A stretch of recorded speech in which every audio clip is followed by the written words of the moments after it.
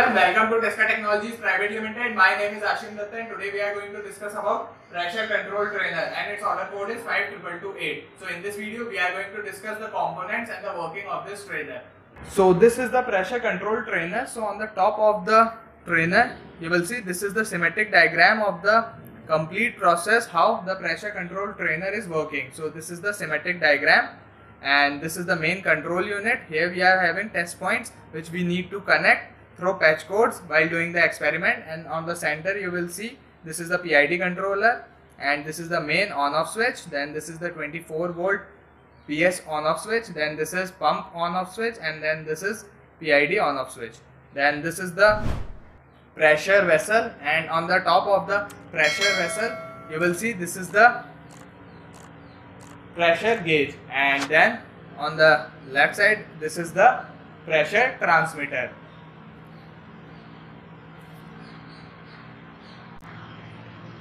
and here you will see these are the valves.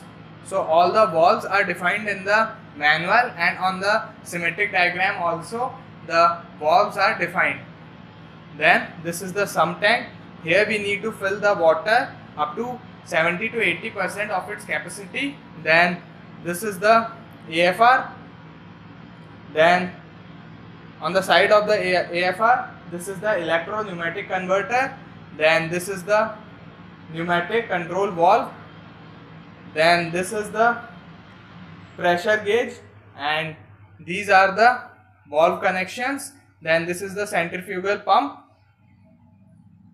So that's all the components of this trainer. So now we will perform the experiment on the trainer. So the experiment we are going to perform is to study feedback pressure control system. So for that firstly we have to fill this sump tank with water so here you can see I have filled the sump tank with water to up to 70 to 80 percent of its capacity and I have closed the drain valve of the sump tank that is the V7 valve. So after filling the water in the sump tank you have to close the cover of the sump tank. And now we have to ensure the positions of the valve that are mentioned in the manual. So according to this experiment we have to keep the valve V4 closed. So right now it is on so we have to keep it at close and we have to keep V1 on then V2 on then V3 on then V4 we have to close then V5 on. So this is the V5 we have kept this on. And now we have to partially open the V6 so actually right now we are not performing the ex experiment so we can keep it off. So while performing the experiment we have to keep it partially open. So according to that we have to keep the valve positions. And now we have to give air supply to AFR and we have to set the AFR to 2.1 kg per centimeter square. So this is the AFR. So we have to supply air in the AFR. So we will do it by using a air compressor. So here you can see currently it is at 0. So we have to keep it at 2.1 kg per centimeter square. So by using this knob we can set the air pressure while supplying the air in the AFR through a air compressor. So we have to connect the air compressor here.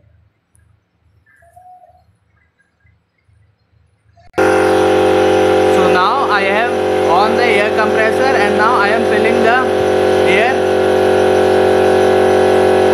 So this is the valve we need to connect through the air compressor. So from here the air compressor provides the air in the AFR. So here you can see now the air reaches to this level and we have to keep it at 2.1.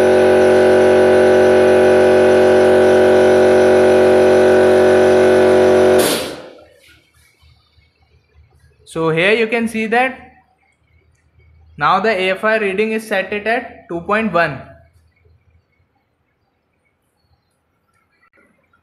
Now we have to do the patch cord connections on the control panel. So by using a air compressor, you have to connect the air compressor on this end and you have to fill the air up to 2.1. So you can adjust by using this knob and that is how you can set the AFR at 2.1 kg per centimeter square. Now we have to connect the trainer to the supply. So there are two wires provided through this trainer. One is the USB which we will connect to the PC when we will do the software process. So now currently we are doing it manually so we have to connect the main supply that is the 3 pin socket. So we have to connect it to the AC supply and after that we will do the connections of these test points. So we have to connect T2 to T4 then T1 to T3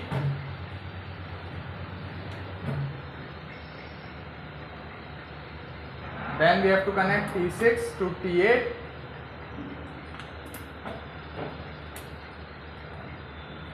then we will connect T5 to T7 so that is how the control panel connection is done. Now we will switch on the main kit so we have to switch on this main supply. And now we will on this 24 volt PS on and now PID so now the PID will switch on.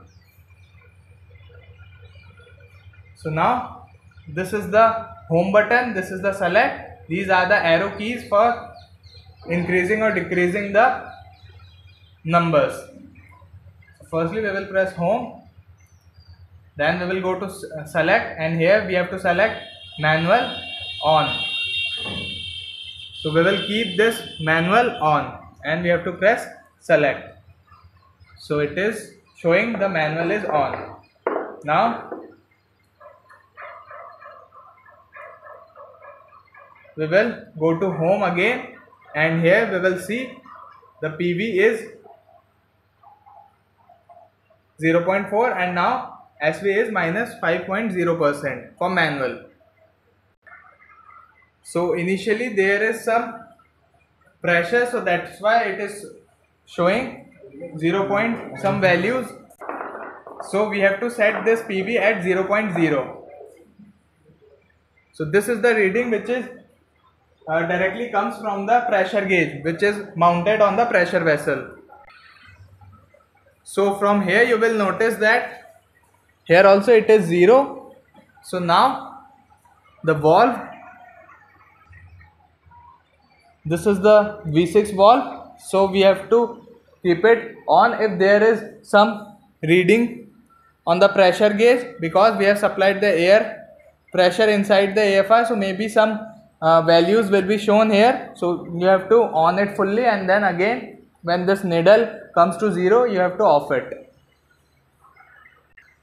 So here you can cross verify that it is also 0 here also it is showing the same pressure. So now we will switch on the pump by using this pump on switch. So here you will notice the changes in the readings of the PV pressure valve and here also you will see the changes on the pressure gauge. So now by using this valve you have to adjust it to 2.5 so you have to open this valve up to 2.5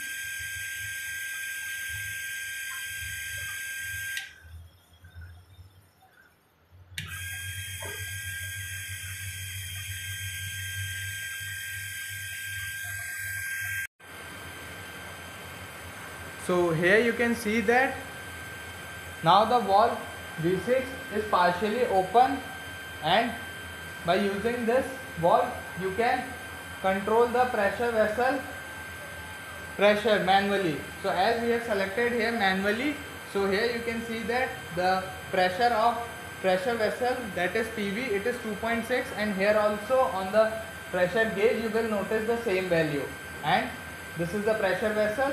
So this pressure vessel.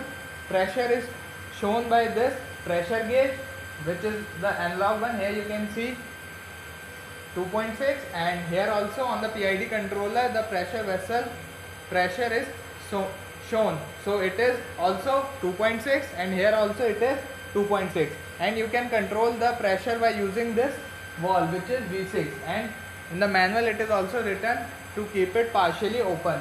So by using this valve you can adjust the pressure. So as if I open the valve more so here you can see the pressure reduces. So now the pressure changes to 2.3 and here also you will notice the change. On the pressure gauge also you will notice the change and here also you will notice the change. And after some time it gets stable so both the values will get stable so now it is at 2.2 and it is also approximately 2.2 so that is how you can do this manually.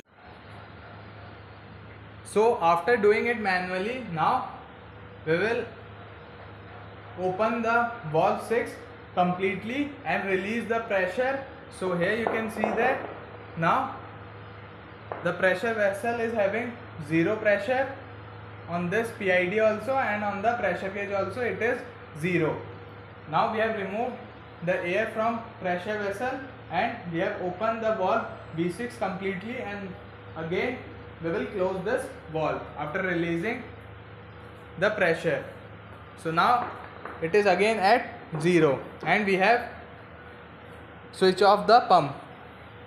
Now we will do it automatic.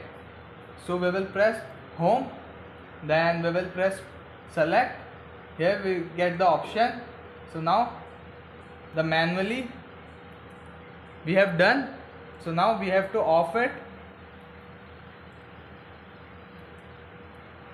So we have to select off and now we will go to automatic and here we have to select on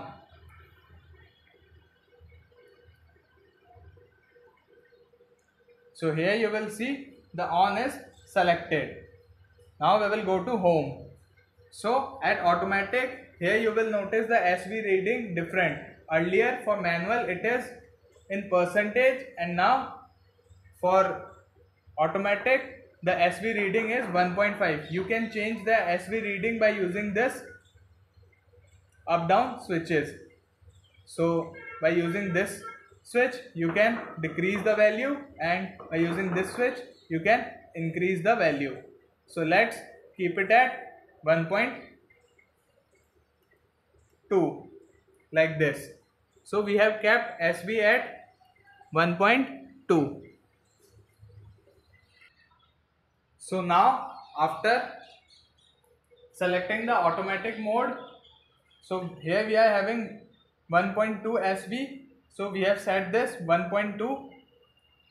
So we will press set and here we will check again that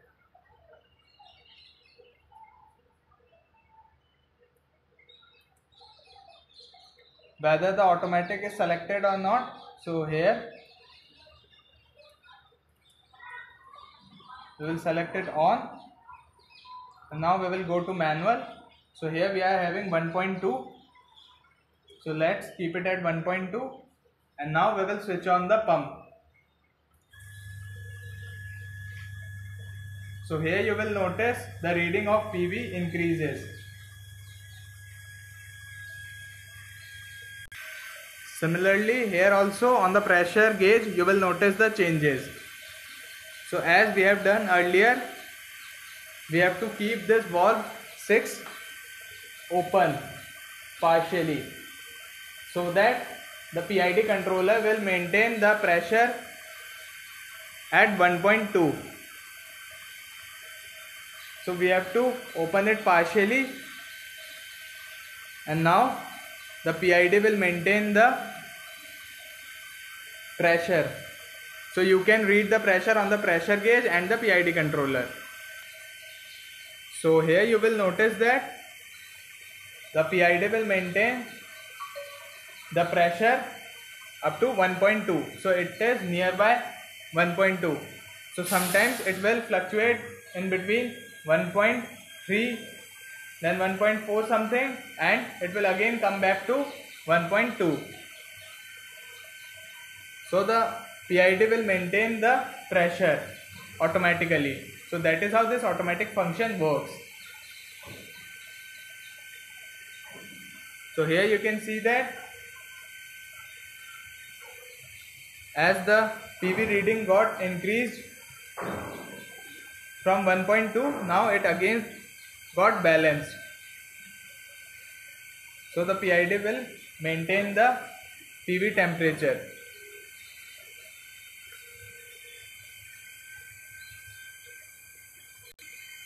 So that is how you can perform this experiment. Here you can see that on the pressure gauge it is 1.2 that is balanced by the PID automatically and here also you will get 1.2 so the PID controller is automatically balancing the pressure and we have partially opened this ball V6 so that is how you can perform this experiment. So now after performing the experiment we have to make the observation table. So here in the manual you can see this is the observation table. So this table is given for your readings and this is the table which is given for the reference reading. So here you can see we are having three columns SV set variable then pressure PV on PID and on pressure gauge. So SV you will get from here. So this table is for the automatic one. For manual you have to take the readings accordingly. And these so these readings are for the automatic mode. So when the PID is controlling the operation you have to take the readings and you have to form this observation table.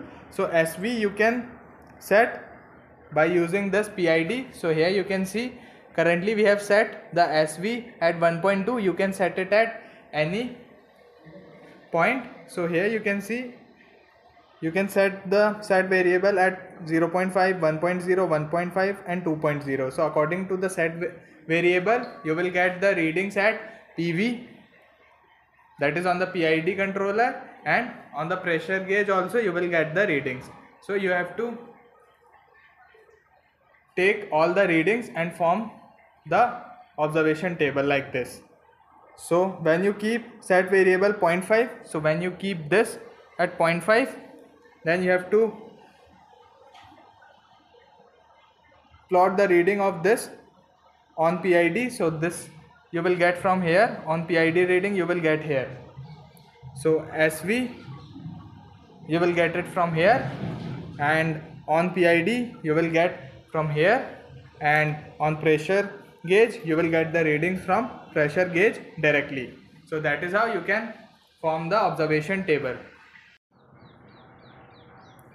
So now we will perform another experiment that is to operate with the SCADA software. So now we will operate this trainer kit with the SCADA software. So for that firstly so we will provide this software and the USB drivers along with this trainer. So here you will find in the CD you will find 5 triple two eight folder. So in the folder you will find the SCADA software and the drivers. So firstly you have to install the drivers that is the second folder USB driver. So here you have to install the drivers. If you are having window 10 you have to install the window 10 driver and if you are having windows 7 or 8 you have to install the driver of windows 7 or 8 so you have to install this window 10 driver which is this 64 and then you have to install the other USB converter. So you have to install this driver USB drive and you have to install this RS4852 USB connector driver. So these are the drivers you need to install. So after installing the drivers you have to install the Elipse SCADA installer. So you have to install this application. After that you have to restart your system. Like if you are using PC or laptop you have to restart it and then you will find these two applications.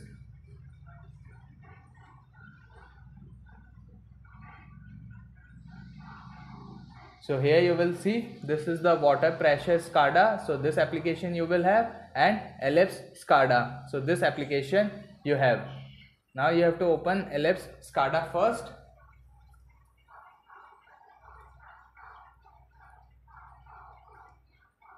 So this is the kind of interface you will get here. So here you have to select.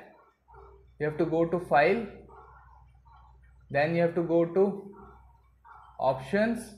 And here you have to select none run as demo. And you have to click on ok. So here you have to select the none and run as demo. You have to select it and then you have to click on ok. Then you have to exit this Elipse SCADA. Then now we will open the water pressure SCADA application so after opening the software this is the interface which we get. So after that we have to connect the USB cable which is provided with the main unit. So we have to connect it with our system. Like if you are using PC you have to connect the USB cable to your system or if you are using laptop you have to connect the USB cable to your laptop.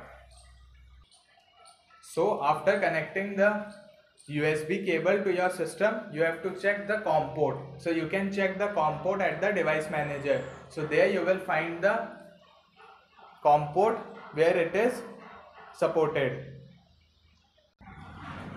So here in the device manager you will see the COM port. So now when I remove the USB cable you will see it is not showing the port. And when I have selected this I have connected the USB so here you will see this is the COM port which we are getting. So here we are getting the COM port 5 so when you remove the USB cable and you will again connect it you will find the required communication port. So this is the COM port 5 in my system now we will go back to our software again. So this is the software. Now here we have to press on our keyboard control plus alt plus s. So we have to press it all together. So after pressing control plus alt plus x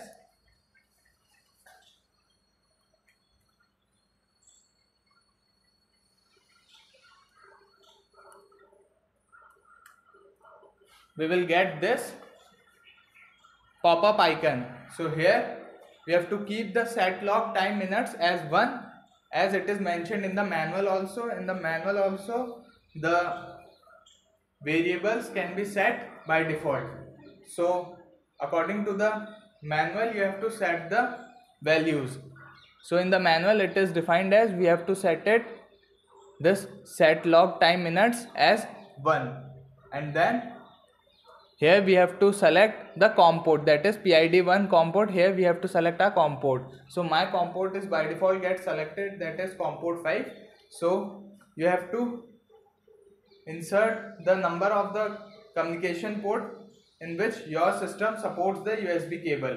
So you have to enter the COM port accordingly. So here my my system COM port is 5 it may be different in your system. So according to that you have to enter the comport value. So after entering the comport value you have to click on save. And then yes. Now you have to cross this. Now we have to move to our trainer. So here firstly we have to maintain the air pressure that is on the AFR we have to maintain the air pressure that is 2.1 so again we will use the air compressor and we will set our AFR to 2.1 kg per centimeter square pressure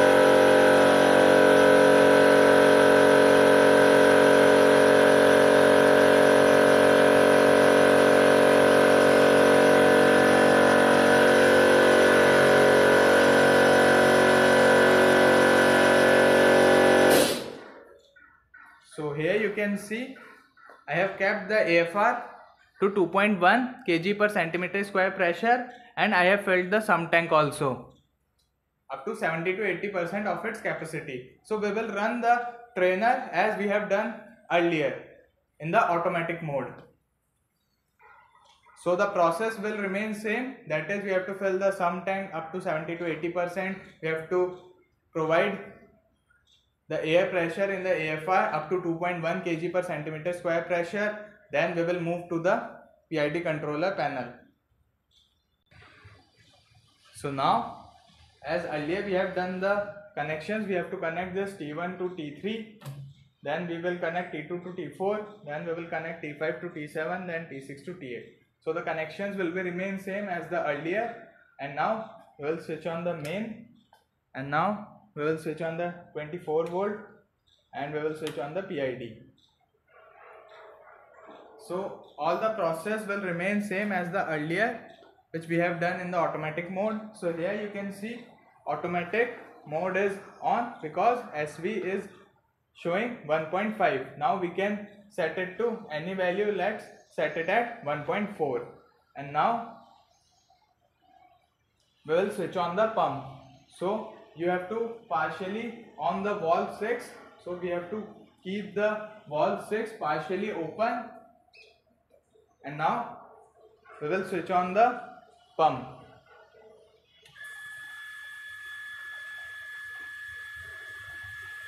So here you can see on the PV reading pressure vessel we are getting the values and it will be maintained at 1.4 similarly on the pressure gauge of the pressure vessel we will get the readings. Here you can see that. So we are getting the reading here also as earlier and we are getting the reading on the PID controller also. Like here you can see that. Now it is maintained at 1.4 as we have select 1.4 as SV so it is maintained at 1.4 so whatever value you have select in the SV the same is maintained in the PV reading. So these two readings will be same. On the PID also and on the pressure gauge also you will find the same PV reading. That is 1.4 and now we will see the reading in the software. So here in the software you can see we are getting the readings here. So on the top you will find the PV reading that is the pressure 1.40 kg per centimeter square and this is the on the second row you will find the pressure SP that is the set value which we have set. So SP is the set pressure. So we have set 1.40 kg per centimeter square and this is the closing reading. So these are the readings we are getting on the software also. So it is as same as we are getting the readings on the PID controller. So that is how the interfacing is done, the communication is done between the trainer and the software. So whatever readings we are getting on the trainer, PID controller, that same readings are shown in the software also. So PV reading is the pressure here and pressure SP that is set pressure is the SV reading on the trainer. So both the readings are approximately same and that is how the PC communication is done.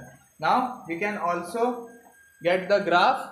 So you have to go to trend 1. So here you can see this is the trend button. You have to click on this to get the graph. So here you will see the graph. So this yellow margin is the graph. So this is the real time graph which we are getting.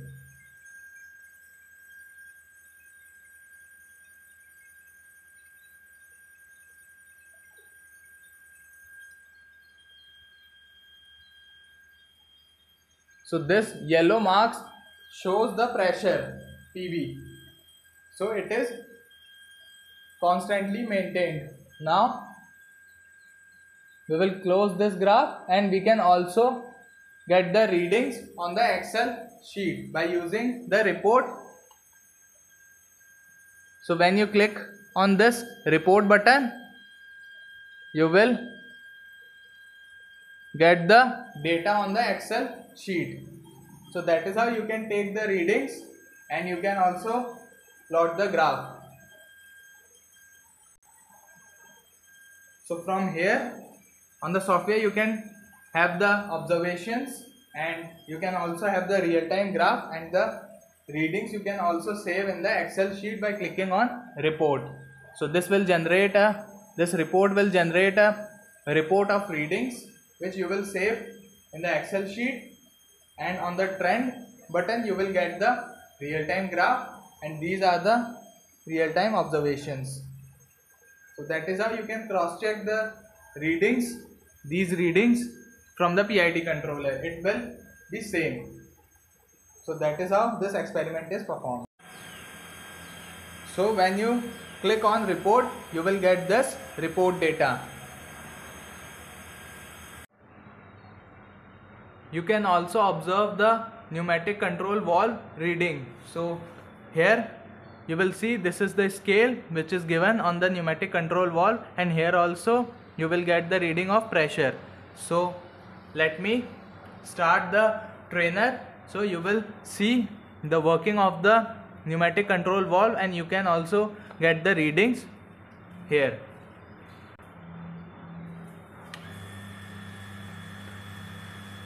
so now I have switch on the trainer in the automatic mode and here you will observe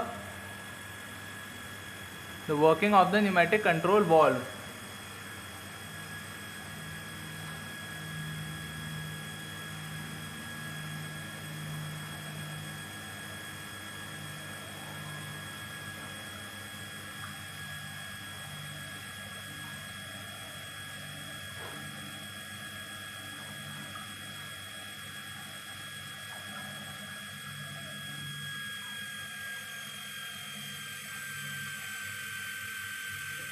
So here you can see that this is how the pneumatic control valve works.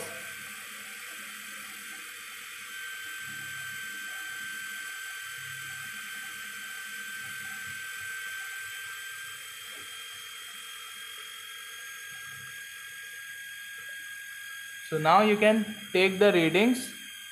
You can see the movement of the pneumatic control valve. You can take the readings from here also and from here also. So that is how this pneumatic control valve works. So that's all the demonstration from my side. If you have any query related to this trainer, you can contact the Tesca Global website. You can find the link in the description. For more information, go through the manual. Thank you for watching this video. If you like this video, like, share and subscribe to our channel.